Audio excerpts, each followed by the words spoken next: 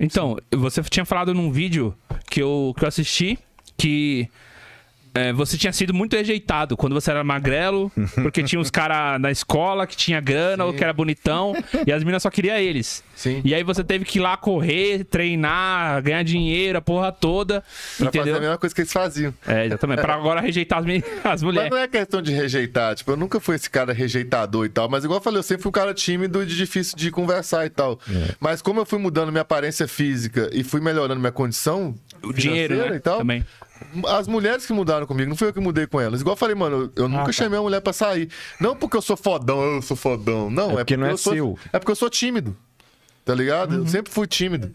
Então, é, tava em mim. Só que quando você é tímido e, e fica com shape bom, você dá aquela aparência que você é, se acha. Se o cara é tímido, então o caminho é meter o shape e ganhar dinheiro. Mete o que as shape. mulheres vão chegar no... Mete o shape que é, de, E é aí você vai poder escolher. letal.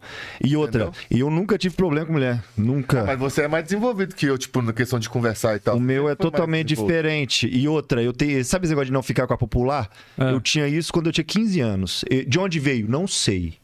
Então, igual você- a pergunta do Red Pill, eu descobri o que é Red Pill, VSM, ah, PUA, essas coisas, sabe como? Eu falando o que eu pensava e nego me falando que isso era o nome do termo que ele falou. Ah, tá, entendi. entendi. Foi assim. Que eu tava, também foi mais ou menos assim. eu tava no. eu- quando eu fazia o podcast, fazia esses programas assim, eu ia falando as coisas que eu pensava. Eu não sabia nome de nada. Eu não conhecia, nem sabia que existia Eu fui canal disso. que era VSM na sua live.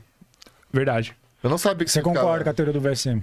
Claro. Claro, sim. Valor sexual de mercado é o que eu falo, que eu sempre falei, mas só que existe uma sigla pra isso. Existe uma sigla. Isso, é que o, pessoal pegou as ideias e, e E eu acho enumerou o